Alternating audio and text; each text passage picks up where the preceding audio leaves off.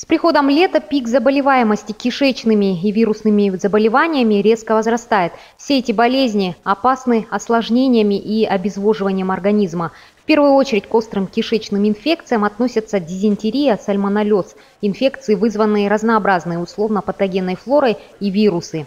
В Экибастузе за пять месяцев текущего года были лишь единичные случаи заболеваемости диареей и сальмонеллезом, а в целом эпидемиологическая ситуация стабильная, передают специалисты. Ни в садиках, ни в школах, ни в лечебных профилактических организациях не было массового это, пищевого отравления ну и кишечной инфекции. Когда нарушается техника приготовления, когда нарушается личная гигиена.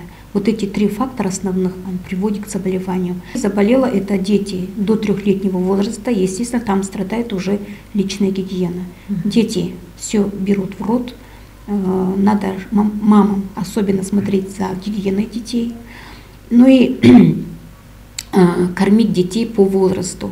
Симптомами острых кишечных инфекций являются расстройство функции кишечника в виде жидкого стула и симптомы интоксикации – высокая температура, слабость, потеря аппетита, тошнота и рвота. При таком самочувствии необходимо немедленно обратиться к врачу. Необходимый мониторинг ведется также в открытых водоемах, фонтанах города. С мая по октябрь месяц специалисты берут пробу воды для того, чтобы предупредить возбудители болезней, в частности холеры, полиомиелита, энтеровируса и менингита. По словам Бахет Тулюбаевны, проведенный в этом году анализ воды в общественных местах не выявил каких-либо опасных возбудителей. Не покупать на рынке подгнившие овощи и фрукты, разрезанные арбузы и дыни. Обращать внимание э, не только на срок годности, но и на условия хранения, э, хранения да, продукции.